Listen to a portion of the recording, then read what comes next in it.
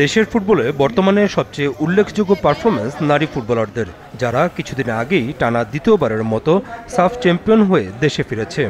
সেই বিজয়ী ফুটবলারদের দেড় কোটি টাকা আর্থিক পুরস্কার দেওয়ার ঘোষণা দিয়েছে বাংলাদেশ ফুটবল ফেডারেশন। নির্বাহী কমিটির প্রথম সভায় এই সিদ্ধান্তের পাশাপাশি কর্মকর্তাদের প্রতি সভাপতি যে কড়া বার্তা দিয়েছেন, সেটাও জানান মিডিয়া কমিটির নতুন চেয়ারম্যান।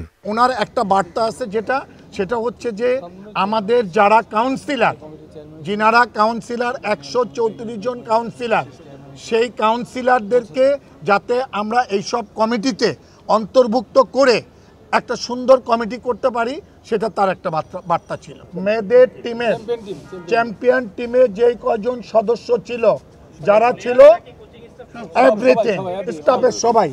প্রথম সভায় স্ট্যান্ডিং কমিটিগুলোর চেয়ারম্যানের দায়িত্ব বন্টন করা হয় বিভিন্ন কর্মকর্তাদের মাঝে।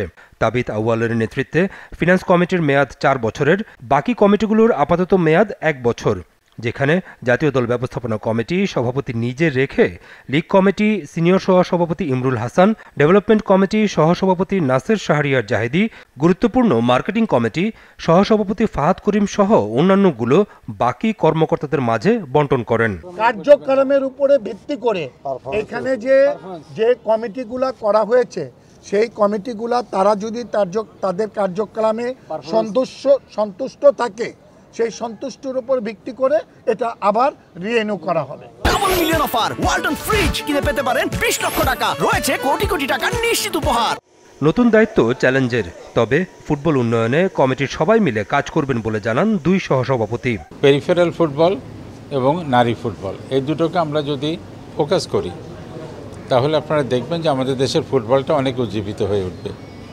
তো ডেভেলপমেন্ট কমিটিতে দায়িত্বপ্রাপ্ত হওয়াতে আমি নিজে পার্সোনালি আমি হ্যাপি বিকজ আমার মনে হচ্ছে যে এখানে আমার যে অতীতের অভিজ্ঞতা একাডেমিক চালানো বা এজ গ্রুপ ওয়াইজ কম্পিটিশানগুলোতে আমরা পার্টিসিপেট করতাম আমাদের বাচ্চাদের মাধ্যমে, আমাদের স্টুডেন্টদের মাধ্যমে। তো এই অভিজ্ঞতাগুলো হয়তো আমার কিছুটা কাজে লাগবে। Definitely to start with one football is a a good product কোনো সন্দেহ নাই, এবং তারা সেটা অর্জন করেছে সো দ্যাটস ফ্যান্টাস্টিক এটা নিয়ে আমাদের কাজ করার সুযোগ আছে, এটা নিয়ে অনেক কিছু করার সুযোগ আছে but at the same time marketing কমিটির চেয়ারম্যান হিসাবে আমার তো টোটাল ফুটবলটাকে নিয়ে কাজ করতে হবে। উই উইল ডিসাইড যে কোন কোন এরিয়াতে আমরা কাজ করতে যাই বাট ডেফিনেটলি আপনি যেটা বলেছেন যে সবচেয়ে glorified of course women football at the moment so এটাকে আমাদের ক্যাপিটালাইজ করার ইচ্ছা আছে।